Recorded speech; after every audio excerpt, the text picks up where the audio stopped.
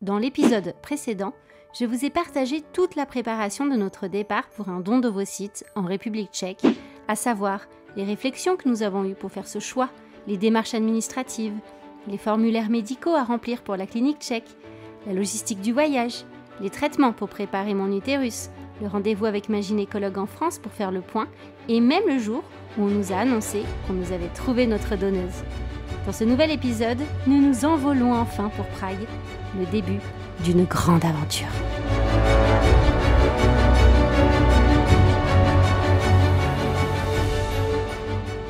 Ça y est, c'est parti. On est à l'hôtel à Genève et on se lève dans 4 heures. On se lève à 3h30 du matin parce qu'il faut quitter l'hôtel à 4 heures, amener euh, la voiture dans un parking non loin de l'aéroport et ensuite il faut être à l'aéroport entre 4 et 5 heures. Donc euh, voilà, ça va être super. Ça y est, ça démarre. il, est, il est naze. Voilà.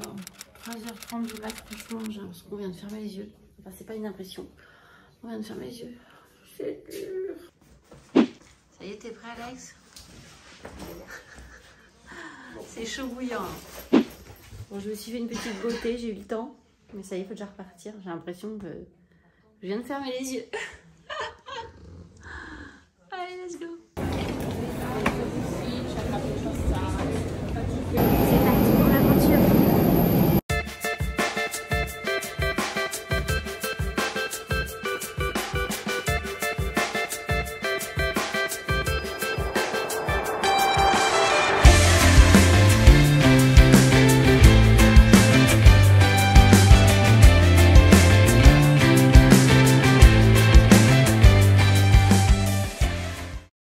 Voilà, on est arrivé. hein, Le vol, c'est ultra rapide, c'est une heure et quart. Et euh, on va pouvoir euh, nous déplacer parce que la clinique est à 3 heures de route de Prague. Nous, on veut être euh, libre, faire du tourisme, aller visiter les alentours. Du coup, bah, on va louer une voiture. Comme ça, on sera totalement libre. Et voilà notre voiture pour notre périple de la. C'est parti, on embarque. Et voilà, on, en- on écoute le tchèque. Má problém, když prohraje. Náhodou, když soutěžíme a prohraje, tak to opravdu on má tři dny špatnou náladu. To je na něm vidět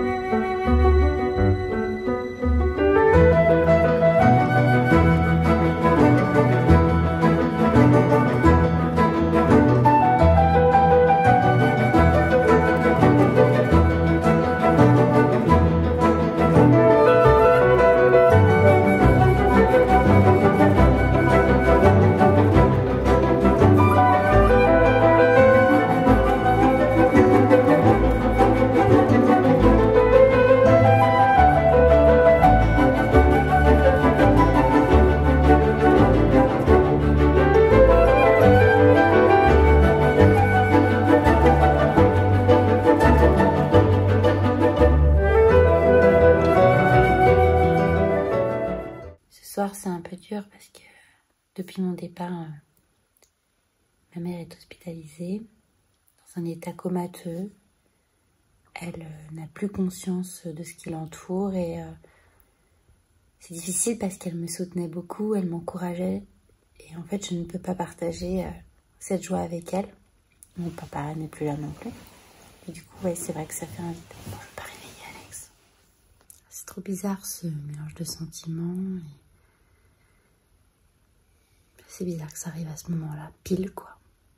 Jour mon départ, la veille de mon départ. Hmm. Je vous tiens informé. Bon, il faut que je me couche parce qu'il est très très très tard. euh, On a visité Prague toute la journée, c'était génial, mais euh, demain, on arrive à la clinique. Alors, il faut être en forme, parce qu'après-demain sera un grand jour. Le jour de la naissance de nos petits embryons. Leur premier moment, instant d'existence, et sûrement le début d'une très très longue aventure, l'aventure d'une vie pour nous, pour Alex et moi. Alors bonne nuit. Et voilà, nous sommes sur la route pour euh, arriver à la clinique de, de IVF Zlin. Demain c'est le grand jour, nos embryons seront créés. Et là on a fini notre petit tour à Prague, malheureusement on n'a pas pu tout voir mais c'était vraiment trop beau, c'est une ville magnifique et romantique. Et, euh, les choses sérieuses commencent maintenant. Hâte de, déjà d'arriver et de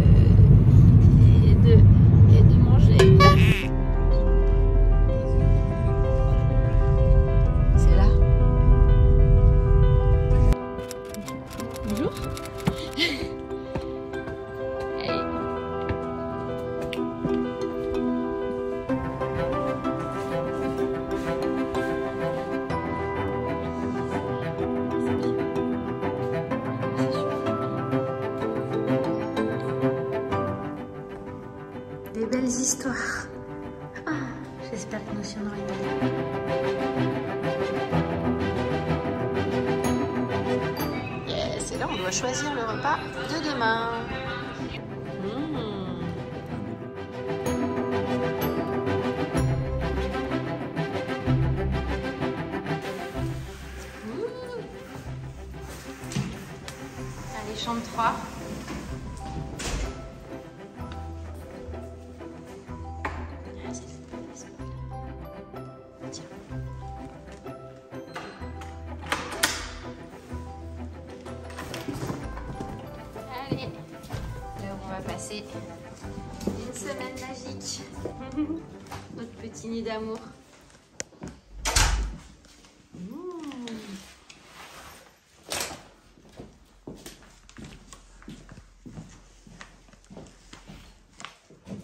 salle de bain. Waouh Ah oui, avec la lumière, c'est plus joli.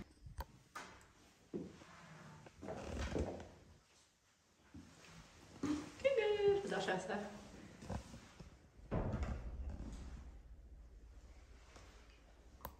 Attends, les toilettes, c'est un œuf.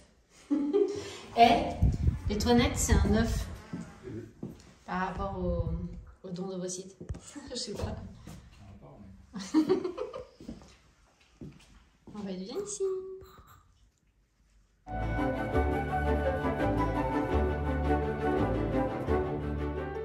Ça y est, c'est le grand jour.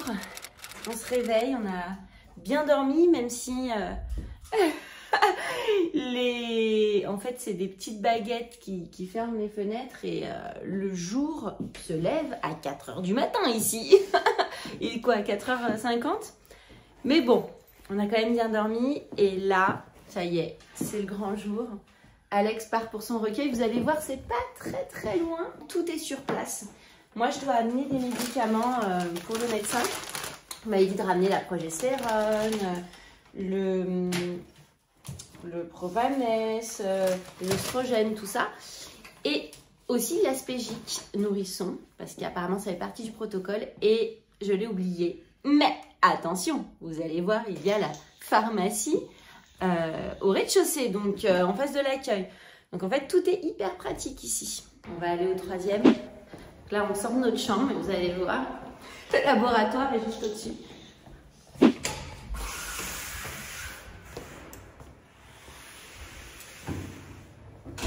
Donc là, c'est quoi? A3. Ah non, là, c'est les rendez-vous médecins. Ah oui, on peut pas dire que ce soit très loin de notre chambre, hein, les, rendez-vous médecins. On va faire mon échographie, voir si mon endomètre a bien poussé.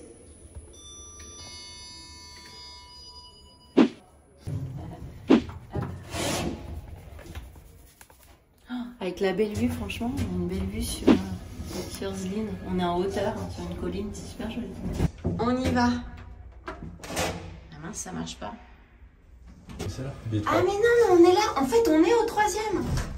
Non mais on est trop bête en fait. On est vraiment devant la porte du labo. Mais en fait, c'est là.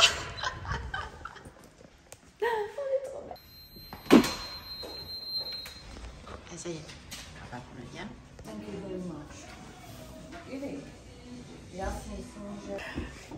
Bonjour Evona Alors on se parle depuis plusieurs semaines et ça y est, on se rencontre Enchantée. Enchantée. Euh, euh, donc, euh, aujourd'hui c'est le recueil de sperme. Ok, il y a possibilité de le faire ici dans la chambre privée ou si vous voulez, il y a possibilité de le faire dans la chambre de l'hôtel. Ah d'accord. Qu'est-ce que, qu'est-ce que vous préférez?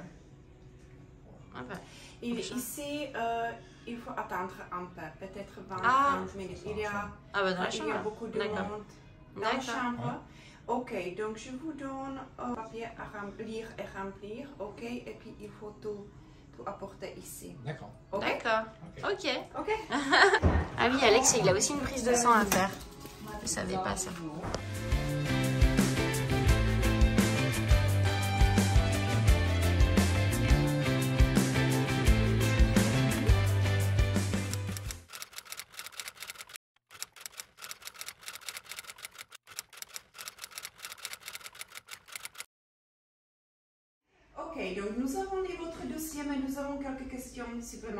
Ok?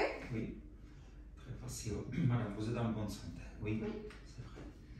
Euh, quelques opérations en termes de euh, non, aucune, non, non. J'ai eu juste, euh, juste la césarienne. Dans votre famille, quelques maladies graves, cancer ou diabète? Euh, en 2014, vous avez mm -hmm. un, autre grossesse avec un Ah oui, j'ai eu un œuf clair. Euh, je... Risque d'un de travail par, par chimie, radiation, infection. On va faire une échographie vaginale D'accord. pour vérifier votre endomètre et puis on vous donne un protocole pour le jour prochain. D'accord, ok. okay.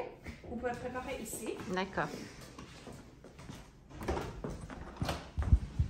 C'est un examen vaginal, donc oui. vous pouvez enlever tout en bas. Quand vous êtes prêt, vous pouvez sortir par là. Ok, okay. et voilà. La salle d'échographie. Okay. Juste... Oh, mais c'est génial, l'écran. L'écran en face, c'est génial. Ah, ok. uh, yes. Je savais pas, j'ai jamais eu ce traitement alors. Je savais pas comment je réagirais. niche, there is a small niche. Un kyste? Mm, it's not exactly a kyst, it's after cesarean. It's not a scar after cesarean. So the part of the uterine wall is thinner. Okay. So. Is it okay for pregnancy? For pregnancy, yes, but uh, for one baby. Okay.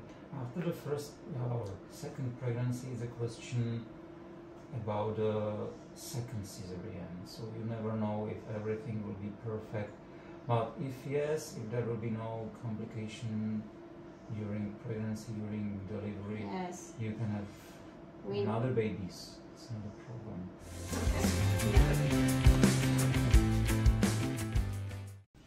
So we have for you sperm sample today's result. Ah, d'accord. It's good. Ah, it's yes. not perfect because it's good because it's not always good. It should be Quand est-ce qu'on saura pour euh, le nombre d'ovocytes Le nombre d'ovocytes demain. Demain, le nombre d'ovocytes et d'embryons. Je peux ouais. vous écrire email ou si vous voulez arriver, je peux vous donner l'information. Ok? Ouais. Combien d'ovocytes nous avons prélevés Combien étaient ouais. fécondés Et puis je vous donne euh, les horaires exacts pour transfert d'embryons. Ça, c'est le... faire le, le bureau de notre directeur. D'accord. On se prépare pour le jour de, des enfants. Ah, d'accord. Ah, c'est quand le jour des enfants Le premier, premier, euh, 1er juin. Oui. C'est la fête de, des enfants. Il faut toujours avoir un cadeau. Et le premier week-end, en juin, on planifie euh, la clinique. Le professeur Pilka. Oui. Et il était le pionnier de, de, de PMA ici. D'accord. Ah oui. Euh, c'est lui qui a fait la fécondation in vitro. La première. Hein. Je peux dire, il a fabriqué le premier bébé. Oui, c'est ça. En République. Et notre directeur, euh, il était son étudiant. Ah, d'accord. Étudiant ce professeur. Uh -huh. Dr. Pilka, il a il nous a aidé d'ouvrir cette clinique. Non, ok, donc il faut, ça, il faut signer aujourd'hui pour madame ici, pour monsieur ici. Ok. D'accord. Pour le traitement.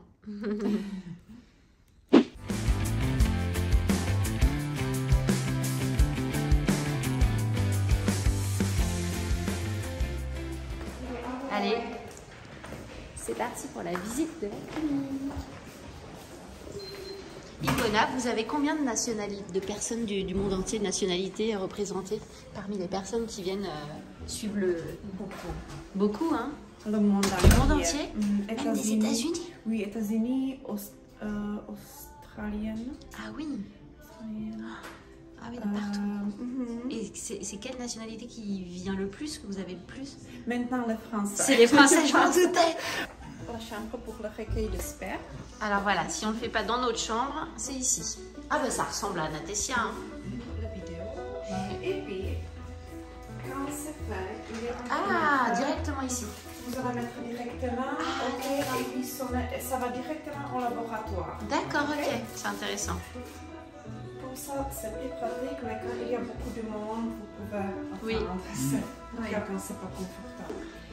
Et puis, ce sont aussi les chambres pour se reposer après le transfert d'embryon. Ah, d'accord, on a ce du sont les temps. chambres partagées, mais si vous êtes à l'hôtel, on va vous amener Oui, directement à dans l'hôtel. la chambre. Ok,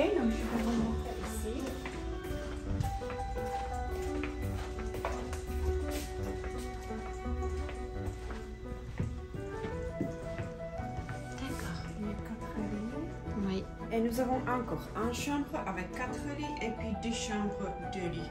d'accord. Un peu. Et on se repose combien de temps après le transfert d'embryon? Une heure. Ah, une heure, d'accord. Une heure ici, après transfert d'embryon. Après transfert, ouais. Après, après ponction des os aussi deux heures. deux heures. Parce que c'est sous anesthésie générale, donc Oui. il faut contrôler. Ok? Et elles sont ici euh, pour le après la ponction? Ex- Oui, après ponction, Dans il ces- faut ces rester pièces-là? ici. Mais elles sont dans ces pièces-là ou dans un autre bâtiment? Ici. Non, non, non, Ici. ici. D'accord. Euh, après, après prélèvement des ovocytes, il faut rester ici. Après transfert d'embryon, soit ici, soit dans la chambre D'accord. l'hôtel. Ok? Oui, on sera mieux dans la chambre. Ok,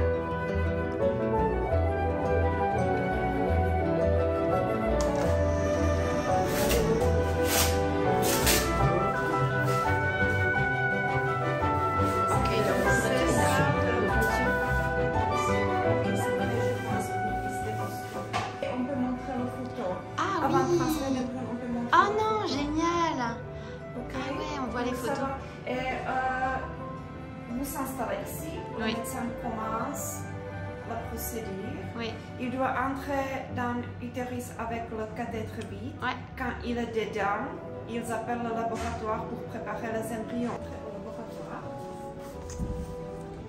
Alors évidemment, le laboratoire, on n'a pas le droit normalement d'y rentrer, mais pour la vidéo, on a, on a une petite exception, un petit privilège pour vous montrer comment ça se passe. Hi. Nice to meet you. you can see our boxes, uh, our micromanipulators, our cultivator boxes, embryoscopes. Yes. And, uh, there are your embryos inside.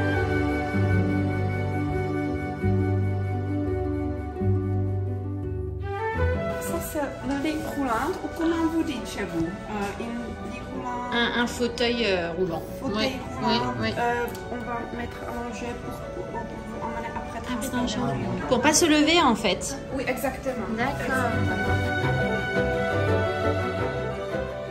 Donc voilà, je vous montre mon protocole. Juste là, j'ai donc deux ovules de progestérone le matin et deux ovules de progestérone le soir. J'en ai à prendre oralement. C'est plus petit, c'est les mêmes hein, finalement, regardez, mais en plus petit. Ouais, ils sont là. Donc ça, c'est à prendre oralement le midi et de préférence après avoir mangé pour éviter les effets secondaires. Le Provamess, j'en ai encore trois fois par jour à prendre. Donc euh, le matin, midi et soir. Et j'ai de l'aspégique nourrisson que je vais aller chercher à la pharmacie. Ils m'ont fait une ordonnance parce que j'ai oublié le mien.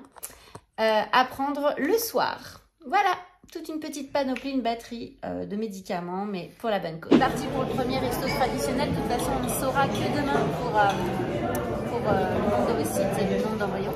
Donc on en profite. Aujourd'hui, on va aller faire des visites. Et là, je mange une tradition, un plat traditionnel tchèque. Ne me demandez pas le nom. C'est des gnocchis avec du bacon et du camembert. Et franchement, c'est plutôt bon. Mais j'ai l'impression qu'ils nous donnent des gnocchis à tous les plats. Nous avons profité de notre après-midi pour aller au zoo de Zlin, qui est l'un des plus beaux du pays. Ce n'était qu'à 18 minutes de route de l'hôtel. Et nous n'avons pas été déçus, c'était vraiment très beau.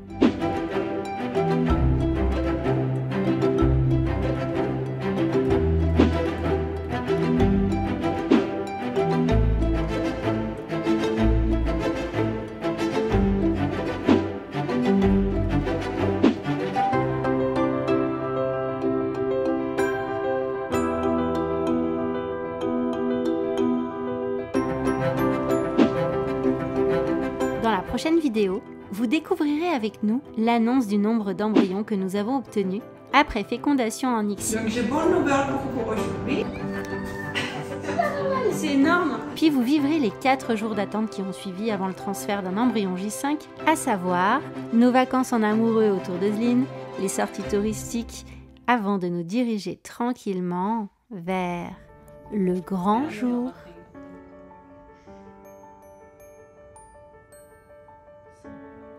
Quoi